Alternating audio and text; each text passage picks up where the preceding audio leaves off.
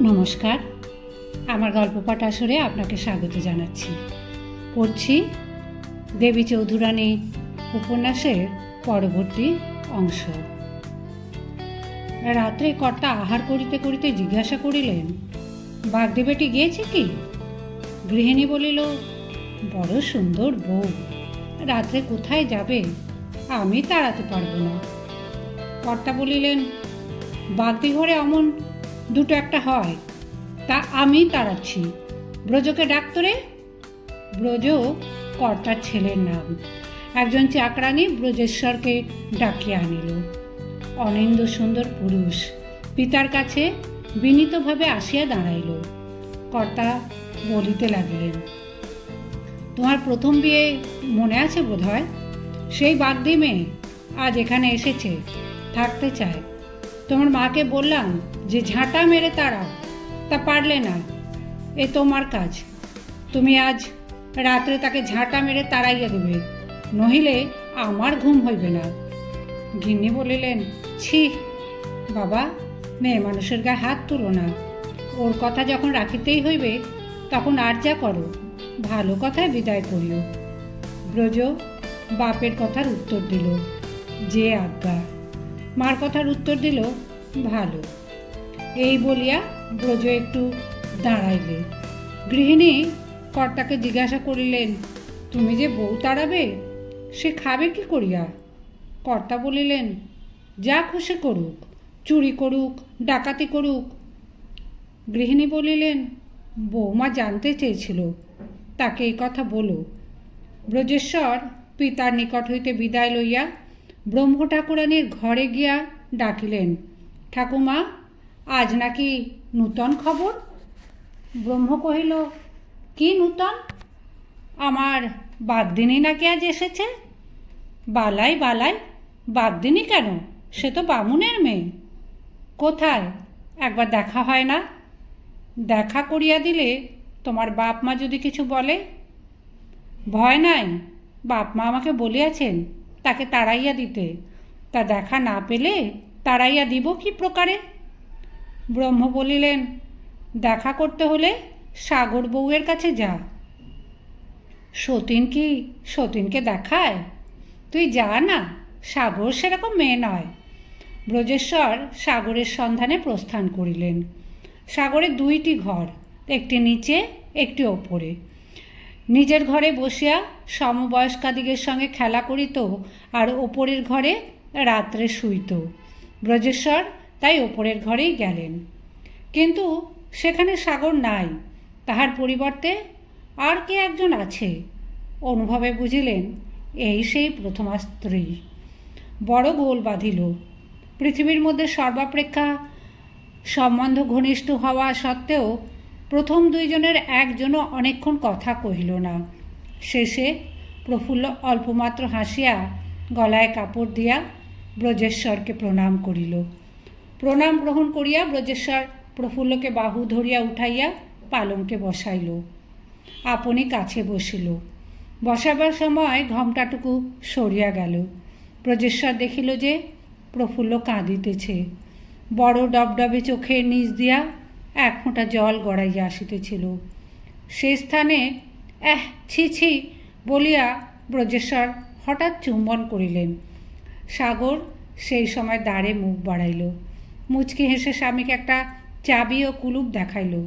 পরে বাহির হইতে কপাট টানিয়া কুলুপে চাবি ঘুরাইয়া দূর দূর ঝমঝম করিয়া ছুটিয়া একেবারে ব্রহ্ম ঠাকুরানের বিছানায় গিয়া শুইয়া পড়িল। ব্রহ্ম ঠাকুরানী বলিলেন, এখানে শুলি যে, তাড়িয়ে দিয়েছে বুঝি? সাগর কলি কহিল, নইলে আর এখানে আসি? একটা রূপকথা বলো না ব্রহ্ম ঠাকুরানী তখন রূপকথা বলিতে আরম্ভ করিলেন।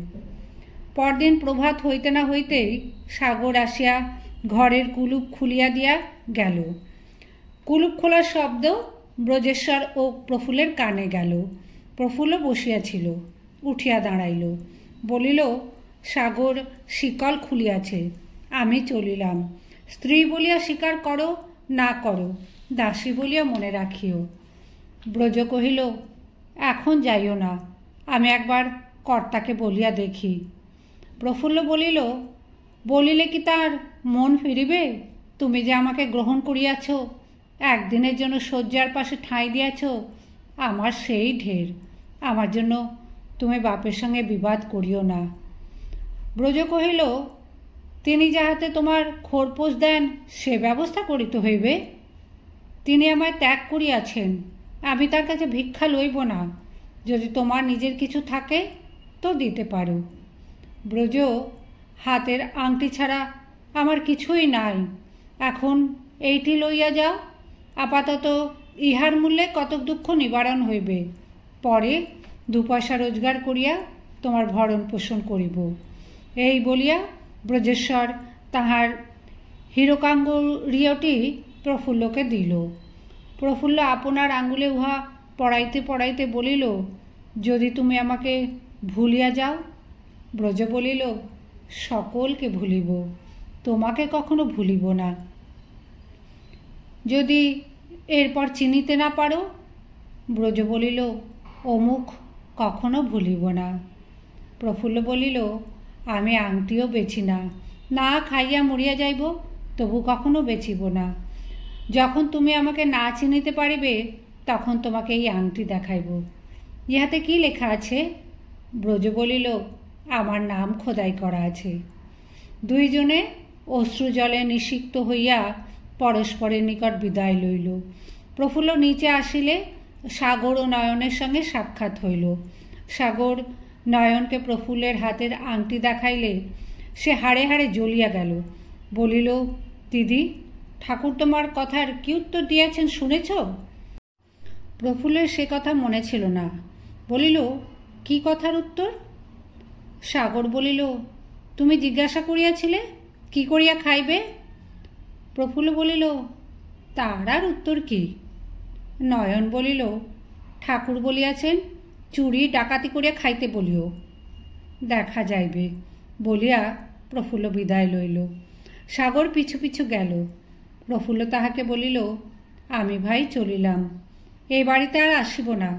তুমি বাপের বাড়ি গেলে সেখানে দেখা হবে। সাগর বলিল, তুমি আমার বাপের বাড়ি চেনো? না, চিনি, চিনিয়া যাইব। সাগর বলিল, তোমার মা বাগানের বাইরে দাঁড়াইয়া আছেন। প্রফুল্ল তখন তাড়াতাড়ি মায়ের কাছে গেল। বাড়ি ফিরিয়া প্রফুল্লের মা জ্বরে পড়িল। প্রথম অল্প জ্বর। ক্রমে জ্বর বাড়িয়া বিকার প্রাপ্ত হইল। শেষে প্রফুল্লের মা সকল দুঃখ হইতে মুক্ত হইলেন। পাড়ার পাঁচজন, যাহারা তাহার কলঙ্ক রটাইয়াছিল, তাহারাই আসিয়া প্রফুল্লের মার সৎকার করিল। পাড়ার পাঁচজন প্রতিবেশী আসিয়া প্রফুল্লকে তার মায়ের শ্রাদ্ধ ও ব্রাহ্মণ ভোজনের জন্য নগদ টাকা ও দ্রব্য সামগ্রী দিয়া সাহায্য করিবে প্রতিশ্রুতি দিল। এই সময় একজন প্রতিবেশী প্রফুল্লকে বলিল, তোমার মার শ্রাদ্ধে শ্বশুরকে নিমন্ত্রণ করা উচিত। প্রফুল্ল বলিল, কে নিমন্ত্রণ করিতে যাইবে? দুইজন পাড়ার মাতব্বর লোক অগ্রসর হইয়া আসিলেন। প্রফুল্ল বলিল, তোমরাই আমাদের কলঙ্ক রটাইয়া সে ঘর ঘুচাইয়াছ। তাহারা বলিল, আমরা এখন সে কথা সারিয়া লইব। তুমি অনাথা বালিকা, তোমার সঙ্গে আর আমাদের কোনো বিবাদ নাই। প্রফুল্ল সম্মত হইল। দুইজন লোক হরবল্লভকে নিমন্ত্রণ করিতে গেল। হরবল্লভ বলিলেন, কি ঠাকুর, তোমরাই বেআইনকে জাতিভ্রষ্ট বলিয়াছিলে, আবার তোমাদেরই মুখে এই কথা? ব্রাহ্মণেরা বলিল, সে কি জানেন, অমন পাড়াপড়শিতে গোলযোগ হয়, সেটা কোনো কাজের কথা নয়। হরবল্লভ বলিলেন, বেটারা নিশ্চয়ই বাগদি বেটির কাছে টাকা খাইয়াছে নিমন্ত্রণের কথায় তাই তিনি কান দিলেন না। ব্রজেশ্বর এ সকল শুনিল। মনে করিল, একদিন রাত্রে লুকাইয়া গিয়া প্রফুল্লকে দেখিয়া আসিব। সে রাত্রেই ফিরিব। প্রতিবেশীদের সাহায্যে প্রফুল্ল মাতৃশ্রাদ্ধ সম্পন্ন করিল। প্রফুল্ল সুন্দরী যুবতী। ভয় কলঙ্কের কথা চিন্তা করে সে তার প্রতিবেশী ফুলমণি নাপিতানিকে রোজ রাত্রে তার কাছে শুইবার জন্য অনুরোধ করিল। ফুলমণি সহজেই রাজি হইল। ফুলমণি বাল বিধবা। গ্রামের জমিদার পরাণ চৌধুরীর গোমস্তা দুর্লভ চক্রবর্তীর বিশেষ অনুগৃহীতা। প্রফুল্ল ইহা জানিয়াও ফুলমণিকে তার কাছে শুইতে বলিয়াছে। শ্রাদ্ধের পরদিন রাত্রে দুর্লভ চক্রবর্তী ফুলমণির কাছ জন্য কাছাকাছি একটা বনে অপেক্ষা করিতেছিল। ফুলমণিকে দেখিয়া হাসিয়া বলিল কেমন? আজ? ফুলমণি বলিল হ্যাঁ আজই বেশ। তুমি দুপুর রাত্রে পালকি নিয়ে এসে দুয়ারে টোকা মেরো। আমি খুলিয়া দেব। তুমি ঘুমন্ত অবস্থাতেই তার মুখ কাপড় দিয়া বাঁধিয়া ফেলিবে কথা মতো দুই প্রহরে দুর্লভ আসিয়া দ্বারে টোকা মারিল। দুর্লভ প্রফুল্লের মুখ বাঁধিয়া পালকিতে তুলিল। বাহকেরা তাকে জমিদারের বিহার মন্দিরে লইয়া চলিল। ফুলমণিও সঙ্গে গেল। ইহার কিছুক্ষণ পর ব্রজেশ্বর সেখানে আসিল। দেখিল গৃহ শূন্য, প্রফুল্ল নাই। ডাকাতের ভয় বাহকেরা নিঃশব্দে চারিক্রোশ পথ অতিক্রম করিবার পর এক ভারী জঙ্গলে আসিয়া পড়িল। তারার আলোকে তাহারা দুইজন ভারী জোয়ান মানুষ দেখিয়া ভীষণ ভীত হইল। বেহারারা দুর্লভকে বলিল, চক্রবর্তী মশাই, কি বলেন? আর তো এগোনো যায় না। চক্রবর্তী মহাশয় বলিলেন, তাই তো, বড় বিপদ দেখি যে। এমন সময় যে দুই ব্যক্তি আসিতেছিল, তাহারা পথে লোক দেখিয়া হাঁকিল। কন হ্যারে বেহারা অমনি পালকি মাটিতে ফেলিয়া দিয়া, বাহ বাহ, গো, শব্দ করিয়া একেবারে জঙ্গলের ভেতর পলাইল। দুর্লভ তাহাই করিল। তখন ফুলমণি, আমায় ফেলে কোথায় যাও? বলিয়া দুর্লভের পেছনে পেছনে ছুটিল। পালকিতে উঠিয়াই প্রফুল্ল তার মুখের বাঁধন খুলিয়া ফেলিয়াছিল।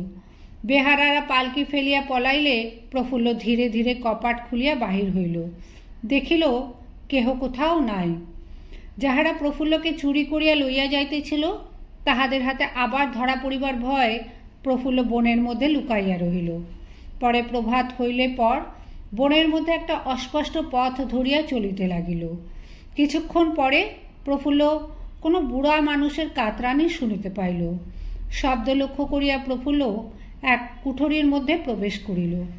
দেখিল, সেখানে এক বৃদ্ধ শুইয়া কাতরাইতেছে। বুড়ার শীর্ণ দেহ শুষ্ক ওষ্ঠ, চক্ষু কোটরাগত, ঘন শ্বাস।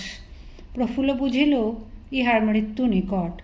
প্রফুল্ল তাহার শয্যার কাছে গেলে বুড়ো শুষ্ক কণ্ঠে বলিল, মা, তুমি কে? তুমি কি কোনো দেবতা? মৃত্যুকালে আমার উদ্ধারের জন্য আসলে? প্রফুল্ল বলিল, আমি অনাথ, পথ ভুলিয়া এখানে আসিয়াছি। তুমিও দেখিতেছি অনাথ, তোমার কোনো উপকার করিতে পারি? বুড়া বলিল, পিপাসায় প্রাণ যায়, একটু জল দাও। প্রফুল্ল জল আনিয়া বুড়াকে খাওয়াইল। বুড়া জল পান করিয়া সুস্থির হইল। তারপর বুড়া অল্প কথায় যাহা বলিল তাহার মর্মার্থ হইল এই, বুড়া বৈষ্ণব। তাহার এক বৈষ্ণবী ছিল। সে বুড়াকে মুমূর্ষ অবস্থায় ফেলিয়া দ্রব্য সামগ্রী লইয়া পলাইয়াছে। এখন সে মরিলে বাড়ির উঠানে তাহাকে কবর দিবার জন্য প্রফুল্লকে অনুরোধ করিল। প্রফুল্ল রাজি হইল। তারপর বুড়া বলিতে লাগিল, আমার কিছু টাকা পোঁতা আছে। বৈষ্ণবী সে সন্ধান জানিত না। সে টাকাগুলো কাহাকেও না দিয়া গেলে আমার প্রাণ বাহির হইবে না। তাই তোমাকেই টাকাগুলি দিয়া যাইব। আমার বিছানার নিচে যে তক্তা পাতা আছে, সেটা তুলিলে একটা সুরঙ্গ দেখিতে পাইবে। বরাবর সিঁড়ি আছে। আলো লইয়া সেই সিঁড়ি দিয়া যাইবে। নিচে একটা ঘর দেখিবে। সে ঘরের বায়ু কোণে খুঁজিও টাকা পাইবে। বুড়া আরও বলিল, এই বাড়িতে গোয়ালে গরু আছে। যদি পারো, দুধ দুইয়া আমাকে একটু দাও। আপনি একটু খাও। প্রফুল্ল তাহাই করিল। অপরাহ্নে বুড়ার প্রাণ বিয়োগ হইল। প্রফুল্ল তাহাকে কবর দিয়া কূপে স্নান করিয়া ভিজা কাপড়খানা রৌদ্রে শুকাইল। পরে টাকার সন্ধানে চলিল। বুড়ার নির্দেশ মতো প্রফুল্ল আলো লইয়া নিচে নামিল। বায়ুকোণ ঠিক করিয়া শাবল দিয়া খুঁড়িতে আরম্ভ করিল। খুঁড়িতে খুঁড়িতে ঠুম শব্দ হইল। প্রফুল্ল বুঝিল, ঘড়ার গায়ে শাবল ঠেকিয়াছে। কোথা হইতে কার ধন এখানে আসিল, আগে তার পরিচয় দিব। বুড়ার নাম কৃষ্ণগোবিন্দ দাস, কায়স্থের সন্তান। অনেক বয়সে খুব সুন্দরী এক বৈষ্ণবীর পাল্লায় পড়িয়া ভেক লইয়া দুজনে শ্রী বৃন্দাবনে পলায়ন করিল। সেখানে বৈষ্ণবী, বৈষ্ণবদিগের নধর গড়ন দেখিয়া তাহাদের পদসেবায় মন দিল। কৃষ্ণগোবিন্দ তখন বৈষ্ণবীকে লইয়া বৃন্দাবন ছাড়িয়া মুর্শিদাবাদে গেল। সেখানেও বেগতিক দেখিয়া পলায়ন করিল। কিন্তু যায় কোথায়? শেষে ঘুরিতে ঘুরিতে এই ভগ্ন বাড়িতে আসে উপস্থিত হইল। একদিন কৃষ্ণগোবিন্দ একটি চুলা খুঁড়িতে গিয়া একটা মোহর পাইল। একদিন সে বৈষ্ণবীকে হাটে পাঠাইয়া মাটি খুঁড়িয়া কুড়ি ঘড়া মোহর পাইল। বৈষ্ণবীকে একদিনের তরেও কথা জানিতে দিল না। সেই ধন এখন সবই প্রফুল্ল পাইল।